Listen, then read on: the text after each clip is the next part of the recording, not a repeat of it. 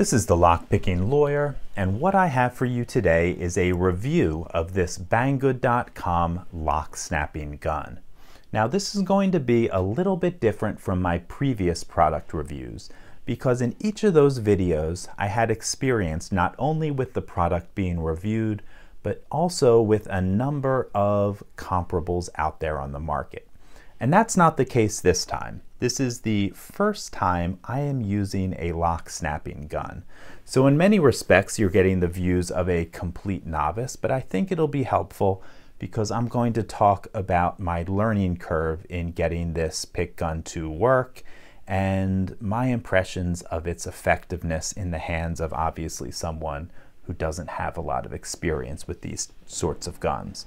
So First thing we're going to talk about is price and what you get for that, and then we will go into my impressions of the product in general and my learning curve. And then finally, we are going to try to open up the assortment of locks that you see in front of you.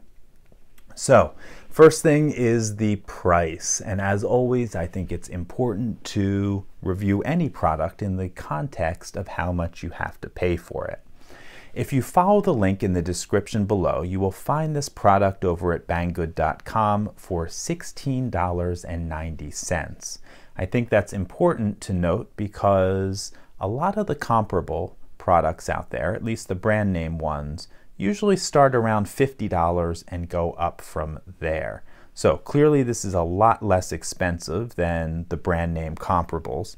And you'll also note in the description below, I have a discount code there that if you use, I'm sorry, if you buy this product before January 24th and use that code, you will get another 20% off.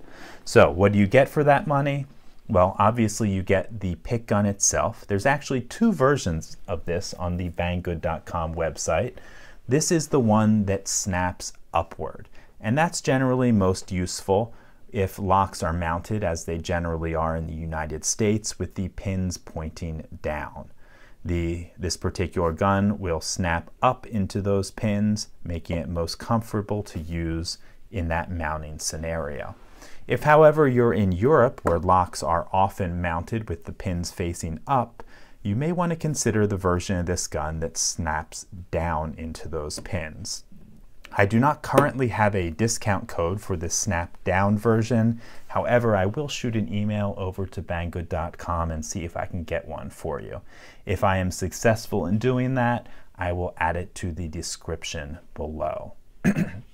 so, as far as impressions on the tool itself, it's certainly made out of relatively thick steel, not at all flimsy.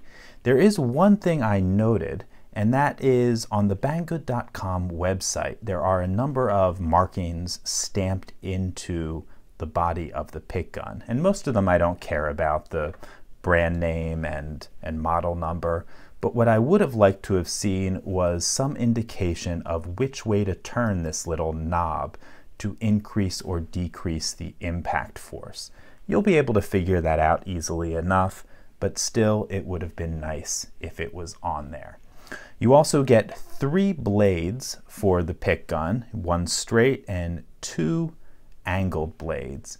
And I have to say they're a little bit on the flimsy side. They're only about 20 thousandths of an inch thick and maybe 50 to 55 thousandths wide. So you're not going to be able to get a lot of strength out of these no matter what they're made of. However, in the course of my review, I snapped, I'll say somewhere in the neighborhood of 150 locks with varying degrees of success.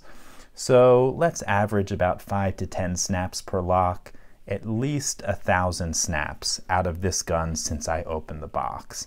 And I've probably bent this, I don't know, certainly dozens of times and bent it back.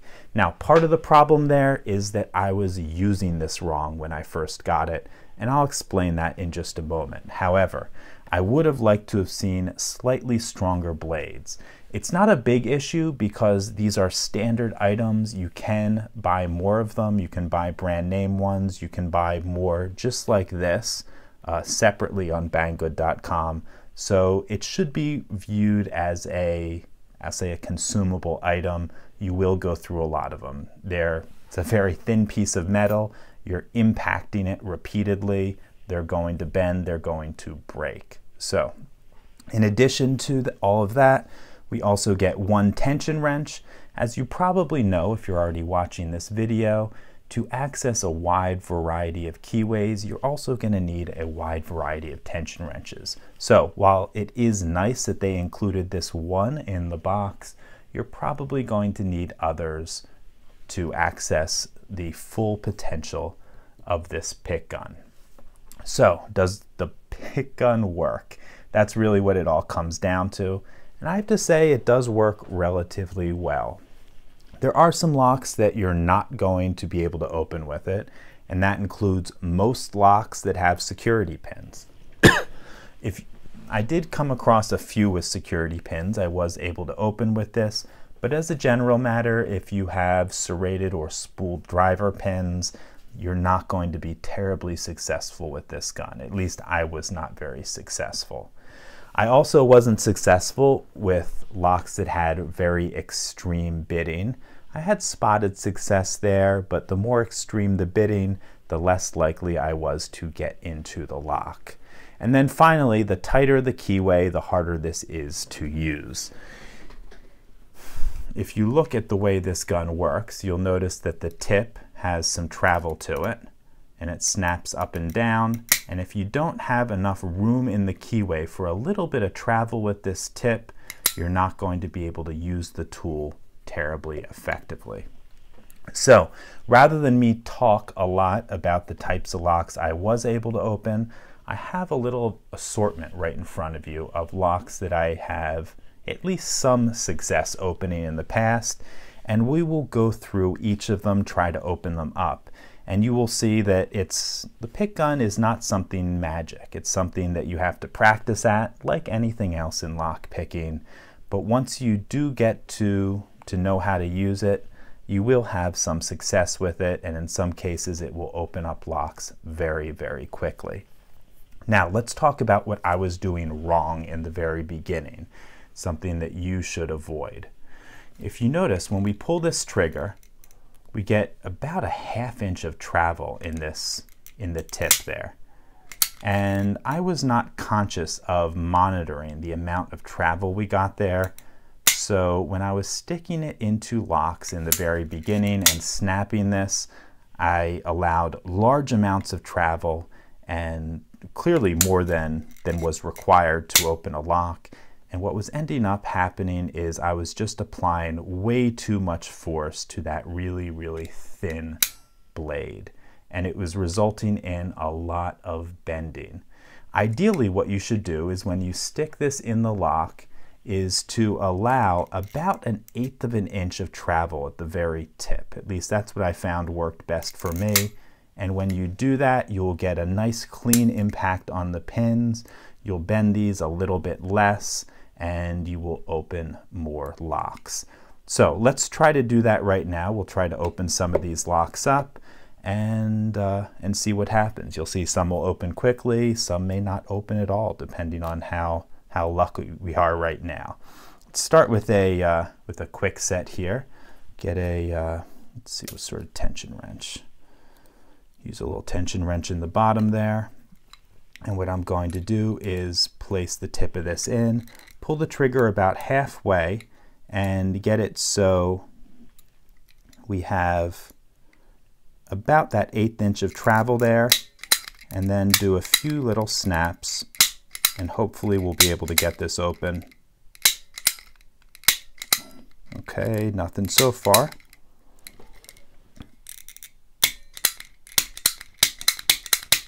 There we go, got it open. As you can see, it does take a few tries. Not sure what this is, another generic brand, no, uh, no brand name on it, and certainly no security pins in there. Oh, there we go. Got this one open. We got another Kwikset here.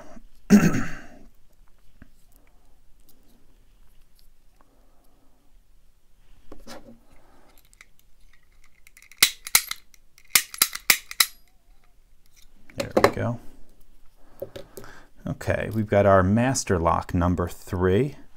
Get a slightly larger tension wrench for this one.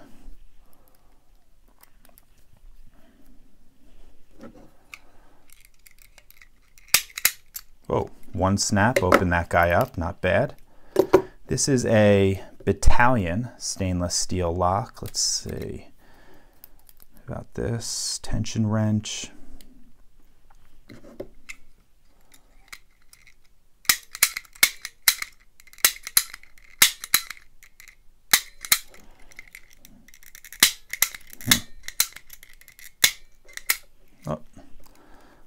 Lost my tension and not having a whole lot of success right now.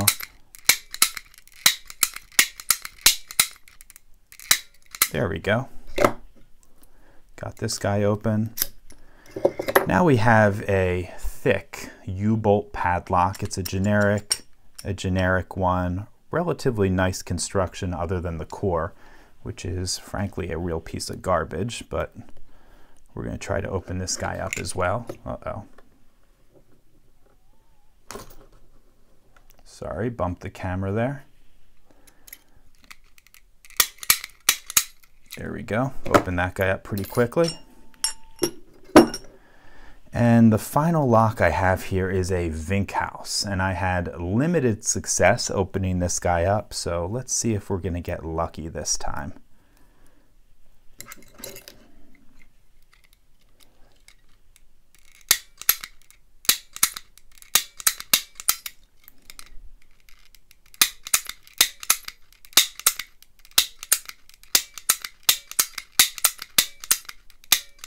Nothing so far. Let's reset this guy.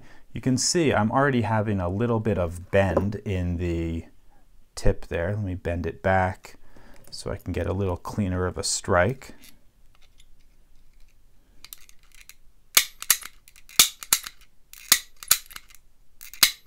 There we go, got our Winkhaus open. So, as you can see, it really is I don't know. It's hit and miss with a lot of locks. You'd never know how a particular lock is going to react to the gun. However, it is very, very effective for a pretty large range of locks. So it may be something that you will you'll want to try. Certainly with things like Kwiksets or the uh, the generic locks with no security pins, works very well. I had a lot of success on master locks, a lot of success on the Chinese padlocks without any security pins, very limited success on locks with security pins like this Winkhaus, which is full of spools. Not sure what about this particular lock that made it so susceptible to snapping. Probably bad bitting, but I don't have a key for this.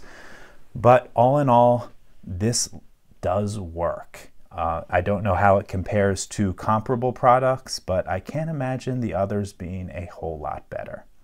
In any case, that's all I have for you on this Banggood.com lock snapping gun. If you are interested in picking one up, again, there is a link in the description below where you can get it for $16.90. And if you're looking at this before January 24th, that discount code in the description will give you another 20% off. That's all I have for you today. If you have any questions or comments, please put them below. If you like this video and would like to see more like it, please subscribe.